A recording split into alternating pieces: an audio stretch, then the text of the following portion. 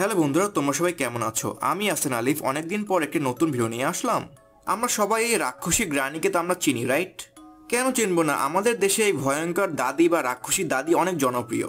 কিন্তু আমরা কি এই গ্রানির পরিবারের সবাইকে চিনি? এই রাক্ষসী গ্রানীর পরিবারে অনেকগুলো মনস্টার আছে বা অনেক কিছুই আছে, যা আজকে আমরা জানার চেষ্টা করব। কিন্তু এখানে একটা সমস্যা আছে। গ্রানিয়ের পরিবার বা গ্রানি ক্যারেক্টারের গল্প অসমাপ্ত। যেরকম আমরা বলতে পারি যে গ্রানিয়ার ইউনিভার্সের ভিতরে অনেকগুলো ক্যারেক্টার আছে, কিন্তু ভালো কোনো লজিক্যাল কোনো স্টোরি লাইন নেই। এই কারণে মাঝে মাঝে এসব ক্যারেক্টারদের সাথে যুক্ত হতে বা লজিক খুঁজতে একটু সমস্যা হয়। তো যাই হোক, আজকে আমরা জানব গ্রানিয়ের পরিবার সম্পর্কে, কে কে আছে, কই কই আছে এবং এদের সম্পর্ক আসলে কি? কিন্তু তার আগে তোমরা একটা ছোট্ট প্রশ্ন উত্তর দাও যে এদের মধ্যে গ্রানিয়ের নাতিকে এ অ্যানাভেলা দুই স্লেনরিনা তিন অ্যাঞ্জেলিন তো বন্ধুরা, অনেক কথা ফেললাম, তো বেশি কথা না বলে লে স্টার্ট দ্য সুপার ফিকশনস তো বন্ধুরা গ্রানিয়ের পরিবারের ফ্যামিলি ট্রি শুরু হয় গ্রানি থেকে, যাকে আমরা প্রায় গ্রানির সকল গেমের ভিতরে দেখতে পাই। Granny one Granny chapter two Granny three এছাড়া আরও অনেকগুলো গেমের ভিতরে আমরা গ্রানিকে দেখতে পাই। গ্রানি দেখতে একটা বৃদ্ধ মহিলার মতন, কিন্তু শক্তি বা আচরণ কোনো রাক্ষসের থেকে কম না। গ্রানিকে মেরে ফেলা প্রায় অসম্ভব। গ্রানি কাউকে কিডন্যাপ করলে তাকে পাঁচ দিন পর্যন্ত বাঁচিয়ে রাখে যাতে সে তার উপরে ব্ল্যাক ম্যাজিক করতে পারে। গ্রানি কেন এরকম মানুষকে হত্যা করে? বা আসলে কোন কারণে গ্রানি এরকম হয়ে গেল? তা আমরা সঠিকভাবে কেউই জানি না। এছাড়া গ্রানি সবার চোখে একটা রাক্ষস হলেও গ্রানি তার জীবনে শুধু একটা মানুষকে শুধু ভালোবাসে। সেটা হলো তার একমাত্র গ্র্যান্ড চিলড্রেন অর নাতি সরি নাতনি, স্লেন রিনা।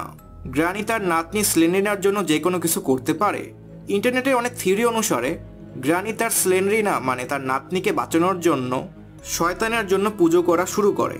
আর এ কারণেই নাকি গ্রানির পুরো পরিবার অভিশপ্ত হয়ে যায়। যাই হোক, এরপরে আসে গ্রানিয়ের পরিবারের সেকেন্ড মেম্বার গ্রানপা বা আমাদের ভাষায় দাদা।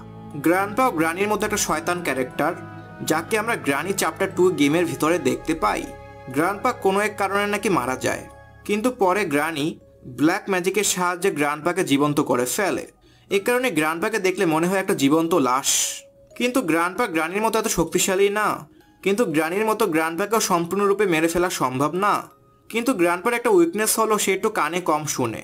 তো এরপরে আসে আমাদের তিন নম্বর ক্যারেক্টার অ্যাঞ্জেলিন। একটা সময় গ্রানি এবং গ্রান্ডপার একটা কন্যা সন্তানের জন্ম হয় এবং এর নামই হচ্ছে অ্যাঞ্জেলিন। যেরকম ইন্টারনেট থেকে পাওয়া কিছু তথ্য অনুসারে, একটা সময় অ্যাঞ্জেলিন নাকি একটা ছেলেকে ভালোবেসে ফেলে। সেই ছেলেটির নাম ছিল সাইমন। কিন্তু এই ছেলেটা ছিল একটা ডিমোনিক এন্টিটি বা শয়তান, যার আসল নাম ছিল স্লেন্ডার ম্যান যাই হোক, পরে অ্যাঞ্জেলিন এবং এই সাইমন বিয়ে করে ফেলে এবং এদের একটা ফুটফুটে কন্যা সন্তানের জন্ম হয়, যার নাম রাখা হয় তার বাবার উপরে স্লেনরিনা তো আমরা স্লেনরিনার মাকে বা অ্যাঞ্জেলিনকে অনেকগুলো গেমের ভিতরেই দেখতে পাই অ্যাজ এ সাইড ভিলেন হিসেবে। যেরকম গ্রানি চ্যাপ্টার ওয়ান গেমের ভিতরে আমরা দেখতে পাই, অ্যাঞ্জেলিনকে একটা সিক্রেট রুমের ভিতরে বন্দি করে রাখা হয়েছে। এছাড়া গ্রানি চ্যাপ্টার টু টুয়ে গ্রানপার বাসার অনেক জায়গায় এই অ্যাঞ্জেলিনের ছবি আমরা দেখতে পাই। এছাড়াও স্লেন্ডিনার এ পর্যন্ত যে কয়টা গেম এসেছে, তার সব কয়টার মধ্যে আমরা অ্যাঞ্জেলিনকে দেখতে পাই।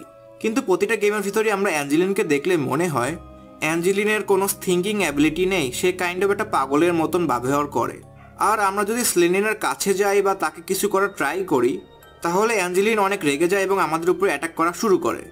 সো টেকনিক্যালি অ্যাঞ্জেলিন অনেক উইয়ার্ড এবং অনেক মিস্টিরিয়াস একটা ক্যারেক্টার এরপর আসে আমাদের চার নাম্বার ক্যারেক্টার স্লেন্ডার ম্যান যে হচ্ছে স্লেন্ডিনার বাবা। স্লেন্ডার ম্যান একটা মনস্টার বা ডিমোনিক এন্টিটি তো লজিক্যালি যদি আমরা চিন্তা করি, তাহলে গেমের ভিতরে সব থেকে শক্তিশালী ক্যারেক্টার হলো স্লেন্ডার ম্যান কারণ সে একটা, নিজেই একটা ডিমোনিক এন্টিটি কিন্তু স্লেন্ডার ম্যানকে আমরা খুবই কমই দেখতে পাই গেমের ভিতরে। কাইন্ড অফ একটা গেস্ট ক্যারেক্টারের মতো অ্যাপারেন্স তারপরও দেখলেই ভয় লাগে ভাই। অ্যাজ ইউজুয়াল আমরা স্লেন্ডিনার সকল গেমের ভিতরে আমরা এই স্লেন্ডার ম্যানকে দেখতে পাই। গেমের ভিতরে যদি আমরা স্লেন্ডার সরি স্লেন্ডিনারকে কোনো ক্ষতি করতে চাই, তাহলে স্লেন্ডার ম্যান এসে আমাকে মেরে ফেলবে। কাইন্ড অফ বাবা তার মেয়েকে প্রোটেক্ট করতে চায় এরকম একটা ঘটনা। যাই হোক, এরপরে আসে আমাদের পাঁচ নম্বর ক্যারেক্টার এবং খুবই একটা ইম্পর্টেন্ট ক্যারেক্টার স্লেন রিনা ডাক নাম হচ্ছে রিনা। দেখো বন্ধুরা, আমরা সবাই গ্রানিকে চিনি, গ্রানপাকে চিনি। কিন্তু স্লেনরিনাকে আমরা খুবই কমই মানুষ চিনি। কিন্তু বন্ধুরা, মজার ব্যাপার হলো যে, গ্রানির উপরে মাত্র তিনটা গেম বের হয়েছে তাও রিসেন্টলি অপরদিকে স্লেন্ড্রিনা অনেক আগের একটা ক্যারেক্টার এবং অনেক আগের একটা গেম এই পর্যন্ত স্লেন্ড্রিনার উপরে প্রায় দশটি গেম বের হয়েছে। তো বুঝতে পারছ যে স্লেন্ড্রিনার গল্পটা কতটা বড়। কিন্তু তারপরেও আমরা এর সম্পর্কে আমরা খুবই কম জানি। তো বন্ধুরা, বাকি সকল ক্যারেক্টারগুলোর যেরকম ফিজিক্যাল অ্যাপিরিয়েন্স আছে মানে আমরা এদেরকে আঘাত করতে পারি বা মারতে পারি। মানে এদের একটা শরীর আছে বা কোনো একটা জিনিস আছে, কিন্তু স্লেন্ডিনা একটা আত্মা বা একটা রুহু বা একটা স্পিরিট টাইপের জিনিস। যার ফলে আমরা স্লেন্ডিনাকে মারতে পারি না বা ধরতে পারি না গ্রানি বা গ্রানপার মতন। রিনার ছোটবেলা অনেক কষ্টে কাটে। ছোটবেলা থেকে সে অনাথের মতো বড় হয়।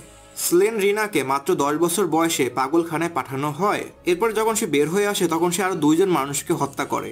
যার ফলে আবারও তাকে মাত্র পনেরো বছর বয়সে তাকে জেলখানায় পাঠানো হয়। এরপরে রিনার সাথে পরিচয় হয় কাউন্ট ওরলক নামে একটা মানুষের। এরপরে এরা দুজনে বিয়ে করে ফেলে এবং এদের একটা বাচ্চা হয়। বাচ্চাটিও রিনার মতো অভিশপ্ত ছিল। এছাড়া অপরদিকে রিনার হাজবেন্ড ছিল একটা শয়তান সায়েন্টিস্ট যে নিজের উপর অনেক এক্সপেরিমেন্ট করে নিজেকে একটা ড্রাগগুলা বানিয়ে ফেলে, যে মানুষের রক্ত খেয়ে বেঁচে থাকে। সো টেকনিক্যালি গ্রানির সবাই মানে পরিবারের সবাই এক শয়তান, রাক্ষস বা কোনো না কোনো অ্যাবনর্মাল কোনো কিছু। আমরা স্লেনরিনাকে গ্রানির প্রতিটা গেমের ভিতরে দেখতে পাই। অপরদিকে গ্রানি চ্যাপ্টার টু এর ভিতরে আমরা স্লেনরিনার বাচ্চাকেও দেখতে পাই। প্লাস একটি জেলখানার মধ্যে স্লেনরিনার হাজব্যান্ডকেও আমরা বন্দি অবস্থায় দেখতে পাই। সো কিছু ইন্টারনেটের থিওরি অনুসারে, রিনার হাজব্যান্ড রিনার উপরে এক্সপেরিমেন্ট করে তাকে মেরে ফেলে, যার ফলে রিনা একটা আত্মা বা ঘোষ্টে পরিণত হয়ে যায়। এরপরে গ্রানি এবং গ্রান্ডপা অনেক রেগে যায়। তারপরে তারা হয়তো রিনার হাজব্যান্ডকে বন্দি করে ফেলে আর স্লেনরিনা এবং তার বাচ্চাকে তাদের সাথে নিয়ে আসে। তো বন্ধুরা এটাই ছিল গ্রানিয়ের পরিবার বা ফ্যামিলির ট্রি, যেখানে আমরা গ্রানি ইউনিভার্সের সকল ক্যারেক্টার সম্পর্কে জানতে পারি। ও, সরি সরি, আমি গ্রানি ইউনিভার্সের দুইটা ক্যারেক্টার সম্পর্কে বলতে ভুলে গেছি। তো বন্ধুরা, গ্রানির সাথে কানেক্টেড আরও একটি গেম আছে, যার নাম দ্য টুইন্স এই গেমটি খেলার সময় আমরা গ্রানি গ্রান্ডপা এবং স্লেনরিনার সাথে দেখা করতে পারি বা দেখতে পাই। কিন্তু গ্রানির সাথে এই টুইন্সের দুই ভাইয়ের কী সম্পর্ক তা আমি এখনও জানতে পারি নাই। হয়তো somehow they are connected by the আমি তোমাদের একটা ইনফরমেশন জানিয়ে রাখি যে গ্রানি ফোর গেমটা নাকি এবছরের লাস্টের দিকে বের হবে so I am really excited for the game bye আমি ভাবতেছি স্লেনিনার উপরে একটা ভালো করে ভিডিও বানাবো মানে বড় এবং ডিটেল সহকারে। কারণ স্লেনিনার উপরে প্রায় দশটারও বেশি গেম এসেছে এই কারণে অনেক বড় একটা ভিডিও হবে। তো বন্ধুরা, আজকের মধ্যে এখানে ভিডিওটা শেষ করলাম। Thank you for watching this video good bye এবং টাটা।